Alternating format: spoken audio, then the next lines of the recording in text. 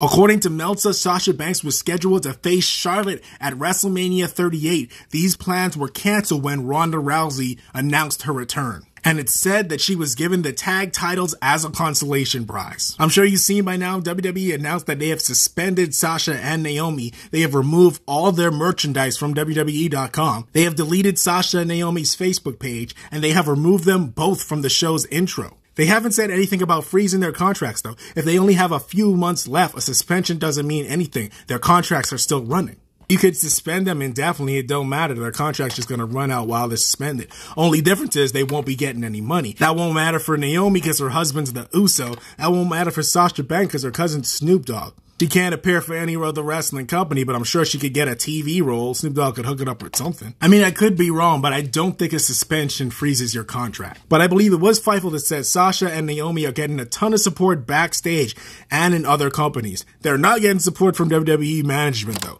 That's understandable. If you have someone committed to a contract, you'd want them to stick to the contract. Do you think Sasha's still mad that her WrestleMania spot was taken away from her?